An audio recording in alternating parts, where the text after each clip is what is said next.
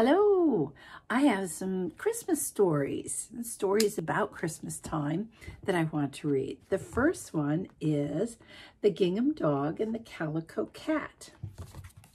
And it's written by Brigid Clark and Chris Noel, illustrated by Laszlo Kubinyi.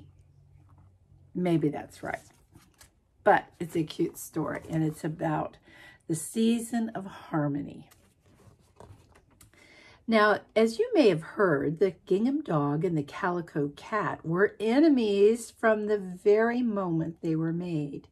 You see, they were made one day in anger by two elves who wanted to see who could make the best toy in Santa's workshop. Then, to the astonishment of all the elves, the gingham dog and the calico cat came alive. They opened their eyes and leapt at one each other. Oh, how they fought. There they are fighting. Well, Santa said to the elves, These toys came to life with your anger inside of them. Only a powerful love can change them. A powerful love indeed. there's Santa on his sleigh, yes. On Christmas Eve, a great wind blew the two animals right off of Santa's sleigh. They must have been right on the top.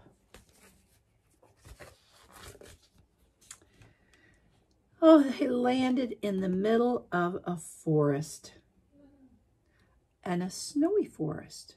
Though the trees, oh, through the trees and across the brook, they spied a snug cottage. They started towards it. Inside that cottage was a boy and a girl, and they were just being tucked into bed for the night. Soon Santa Claus would be there. Daddy tucking them in.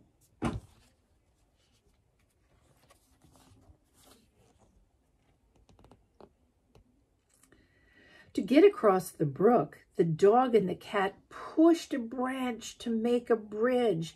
They worked together. They did not fight. The boy and the girl awoke